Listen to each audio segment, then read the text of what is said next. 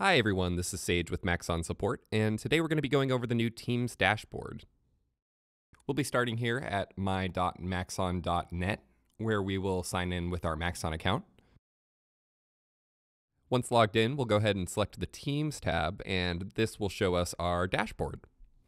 Here we can see several tabs on the left-hand side. This will give us the details of our licenses, our groups, our users, and the admins amongst our team's accounts.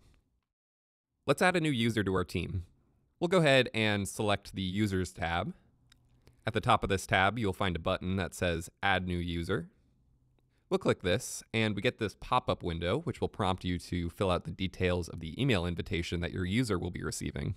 Go ahead and enter the emails and the usernames for any users that you want to invite. And you can also include a message for those users if you'd like.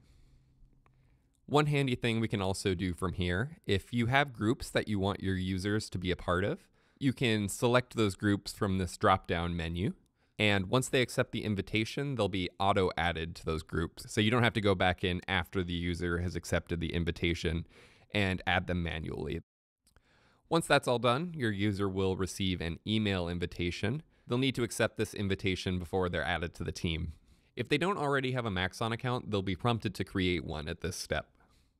You can always see and manage the status of your invitations through the Invitations tab at the top of this section.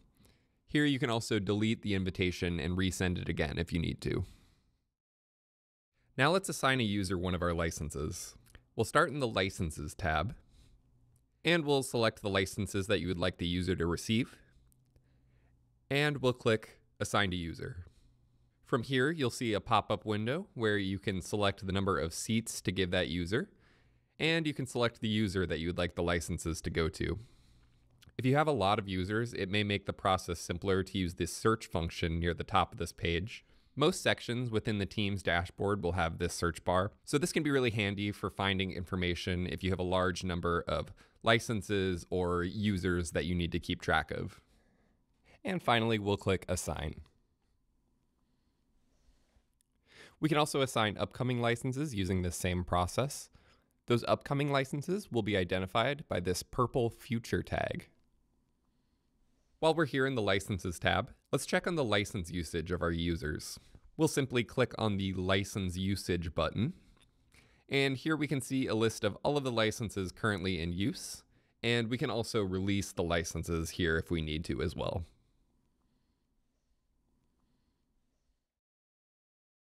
Now let's set up a group. This will allow the users from within those groups to pull from that group set of licenses. We can switch over to the Groups tab here, and then select Create New Group. We'll enter the name of the group that we want to make, and click Create. And you can see that this now appears in the Groups table. We can also add users to the groups from this tab as well. We'll just select the groups that we want to add the users to, and we'll click Add Users. We'll select the users we want to include in this group, and we'll click Add. If you need to, you can always remove users through the Show More button next to the group name.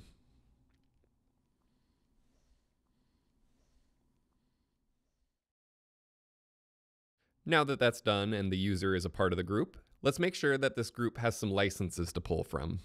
We'll move back over to the Licenses tab. And it's important to note here that only floating licenses can be assigned to groups. Those will be identified with this green tag here.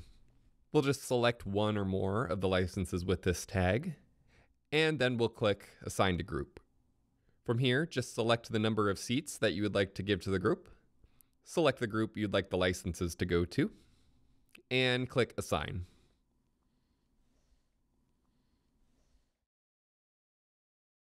Teams admins have a lot more control over how these licenses are used other than what was shown in this video.